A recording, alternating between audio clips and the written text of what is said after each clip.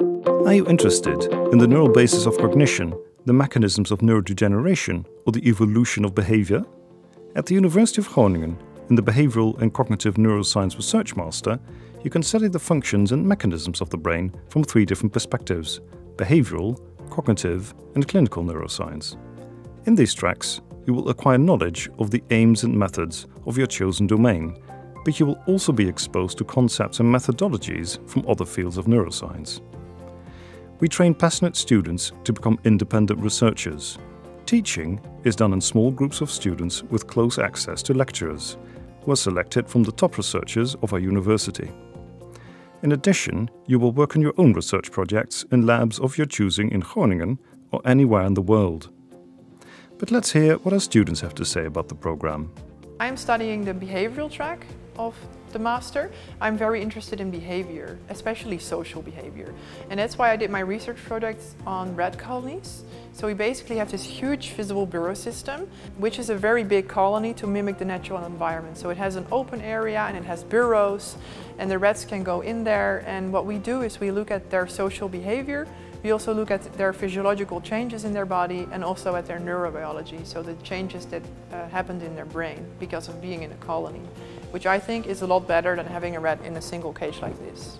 So I think that the biggest thing that makes BCN stand out from other programs is that it's super interdisciplinary. So we have the three tracks, so the behavioral, the neuroscience and the cognitive track. So you are choosing a certain track, but in the second year you can actually choose courses from other tracks. So you can really develop to be interdisciplinary? I'm currently following the cognitive track of the BCN Masters program, which is referred to as C-track. BCN stands out in comparison to other master programs because it is interdisciplinary. It contains small student cohorts uh, where you can actually follow an apprenticeship during which different researchers can guide you through their work and teach you uh, their skills. First project I completed was on uh, how attention is influenced by potentially negative pictures. So the emotion. Uh, second project I did was uh, on language learning. So I taught a bunch of Dutch students how to recognize Turkish words. And last project I'm working with is the working memory, so short-term memory and whether that can be decoded from EEG recordings.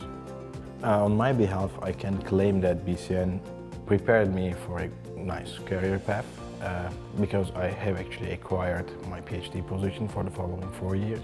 I'm following the N track, the clinical and molecular neuroscience track, which mostly focuses on pathologies of the nervous system and the molecular basis of them. Uh, this master is a research master, so it's mostly focused on research. And I gained a lot of lab experience, for example, doing a, a qPCR and also working with fluorescent microscopy. Understanding molecular neuroscience is important to cure uh, diseases of the nervous system because most of the diseases of the nervous system have a molecular basis and by understanding, for example, protein aggregation in Alzheimer, we can start working on a cure for the disease and not only treat symptoms. So visit our website for more information.